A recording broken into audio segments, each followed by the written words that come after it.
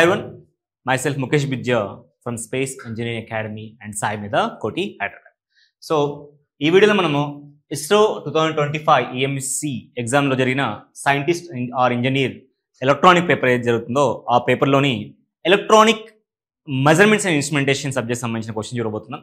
You know there are three questions were given in this particular subject here okay right let us look at the first question ఇది మనకి strain gauge concept మీద base చేసుకుని కనబడుతుంది. We all know strain gauge అనేది you know it is used to measure the strain or the deformation ఒక object మీద deformation జరిగినప్పుడు strain క్యాలిక్యులేషన్కి ఒక బ్రిడ్జ్ సర్క్యూట్ తోటి మనం యూజ్ చేస్తూ ఉంటాం. With the help of resistance nothing but strain gauge nothing but pure resistance అని చెప్పొచ్చు కూడా ఒక దాన్ని బేస్ చేసుకుని అడిగిన క్వశ్చన్ ఒకసారి మనం చూద్దాం. A strain gauge with a gauge factor of two point O gain factor of a 2 sorry gauge factor 2 gauge is connected in a Wheatstone bridge. As I said it's a bridge circuit.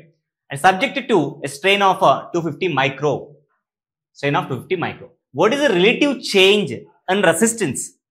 Delta r by r where delta r by r of the gauge. So let us write down the given data with respect to the question first of all. Okay? So what was the data given here? The first thing it was given with a gauge factor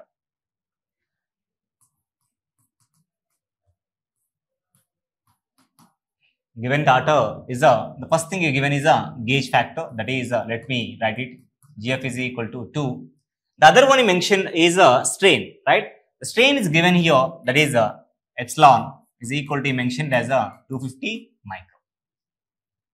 And you want you want to know the value of a delta r by r relative change in the resistance uh, that is delta r by r is equal to how much? So what is the relation between the these three parameters uh,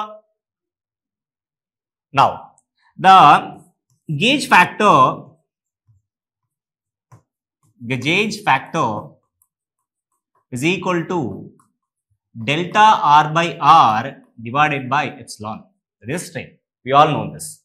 So, with respect to this relation, then use చేసుకుంటూ మనం delta r by r అంటే ఏం రాయొచ్చు sir that is gauge factor into epsilon. We know the gauge factor that is 2. We know the epsilon value that is strain value that is 250 micro. Substitute the values here. 2 into 250 micro that will give you 500 uh, micro. 500 micro. That is nothing but 500 uh, ppm. Right. This is the answer for this particular question. Next question. Let us look at the next question with respect to the measurements here. Which of the following voltmeter will have the least loading effect? Least loading effect on 100 kilo ohm source. On 100 kilo ohms source. So with respect the question ఇక్కడ మనం consider చేయాల్సింది ఏంటి sir loading effect గురించి అడిగాడు. Loading effect ఎక్కువ ఉండాలని అడుగుతున్నాడా తక్కువ ఉండాలని అడుగుతున్నాడా? లీస్ట్ అని అడుగుతున్నాడు. లీస్ట్ అని అడుగుతున్నాడు. So when with the least loading effect possible sir different voltmeters మనకి ఇచ్చాడు. ఇక్కడ ఇచ్చిన ఓల్టామీటర్స్లో డిఫరెంట్ రేటెడ్ ఓల్టామీటర్స్ ఉన్నాయి. first option, second option, third option, fourth option you would But our requirement to address the least loading effect among the four voltmeters. As we known, as we known, as we known, least loading effect, least loading effect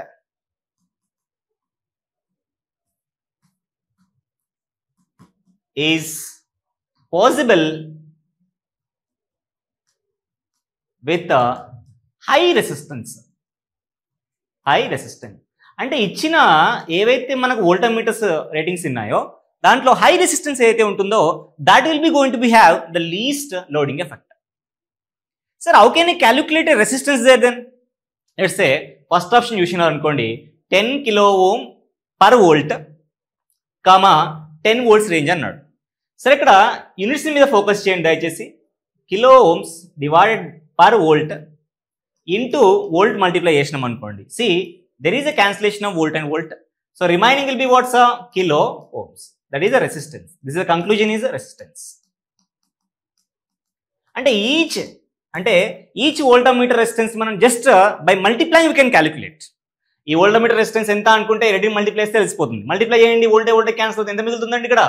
Ten kilo ohms 10 kilo ohms read it clearly.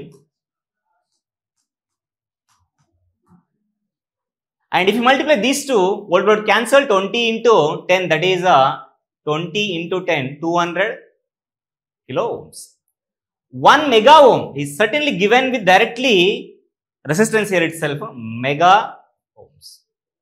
And 50 into 5 that is uh, a 250 kilo ohms.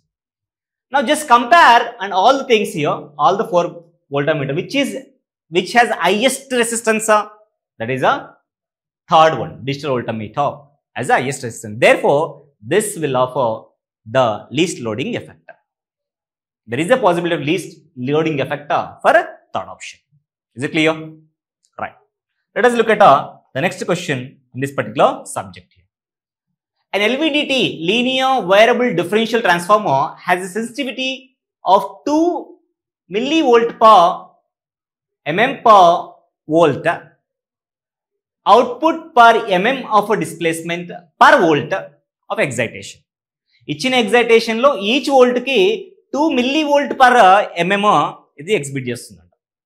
ఇది LVDT okay each వోల్ట్కి. అంటే let's right given data అయ్యో ఇంతవరకు జరిగిన దాని నుంచి మనం given data రాసుకుందాం ఇక్కడ క్లియర్గా so up to with this information what you can సేసా sir for each volt for one volt it is producing two the sensitivity will be 2 millivolt per mm.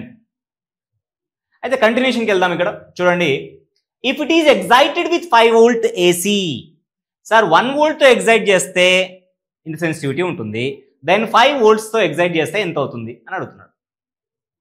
One వోల్ట్తో ఎగ్జైట్ చేస్తే the sensitive is two millivolt per mm so five volts excite అయితే ఏమవుతుంది let's ఈ వాల్యూని మనము ఈ value మనం కనుక్కోమంటాడు let us consider this one is X X అనుకుందాం మనం. Just cross multiplying one into X is equal to two into five అనుకోవచ్చు మనం. There four X is equal to ఏం చెప్పొచ్చు సార్ మనం? Ten milli volt per mm X అనేది ఏమవుతుంది sir? Ten milli volt per MM అవుతుంది. So let me write that answer యో అంటే ఇక్కడ ఎంత వస్తుంది సార్ మనకి? Ten milli volt per MM అంటే ఈచ్ ఎంఎం ఆఫ్ డిస్ప్లేస్మెంట్కి టెన్ మిల్లీ వోల్ట్ మనం అబ్జర్వ్ చేయొచ్చు. దీని నుంచి ఏమో అర్థం చేసుకోవచ్చామో చెప్పండి. ఏమర్థం చేసుకోవచ్చు? ఈచ్ ఎంఎం ఆఫ్ డిస్ప్లేస్మెంట్కి ఎంత ఎగ్జిబిట్ అవుతుంది sir? Ten millivolt ten millivolt let me read the question for the and produce and output of thirty millivolt what is the displacement what is the displacement thirty millivolt output మనకు రావాలనుకుంటే ఎంత displacement రావాలంటున్నాడు. So what about the displacement to get thirty millivolt? So ఇంత already మనం X అనుకున్నాం కాబట్టి ఇక్కడ మనం will go with some Y consideration ఇక్కడ మనం ఏమనుకుందాం sir? Just consider with Y cross multiply we can easily get the answer here Y into ten millivolt is equal is equal to 1 mm into 30 millivolt. Sir, 10 cancellation with the 30 will give you 3. Therefore, what is the answer, sir? The y is equal to 1 into 3, 3 mm of a displacement. mm of a displacement. So, with respect to this, what is the answer, sir? That is a 3 mm. Third option will be the right option. So, these are the questions asked in the ISRO examination with respect to the electronic measurement and instrumentation subject. Thank you.